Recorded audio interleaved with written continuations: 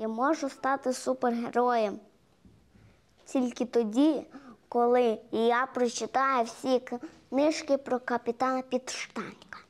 Шестирічний Гордій показує свої улюблені книги, які він читає у місцевій бібліотеці. Серед них комікси, журнали з загадками та енциклопедії про професії. А яка була найдивніша професія, про яку ти дізнався в тій енциклопедії? Мені була найдивніша професія, вона називається тестувальник водяних гірок.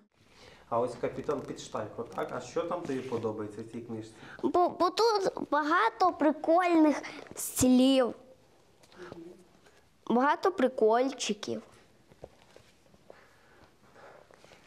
Можна дізнаватись завжди про щось нове. Завідувачка бібліотеки для дітей Ірина Кулеша розповідає, здебільшого їхні читачі обирають розвиваючі книги Джеронімо Стілтона та комікси про війну в Україні. І був перший привід Києва, потім пішла мінна безпека, і це все, оце все вже було в форматі коміксному для дітей.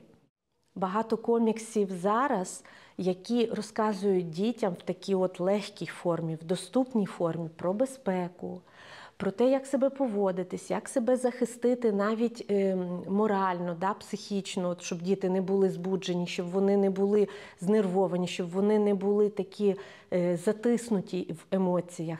Натомість у центральній книгозбірні дорослі обирають детективи та науково-фантастичні романи. От у нас є читачка, наприклад, е, вона читає Кіс, вона читає Геріцен. Е, Так?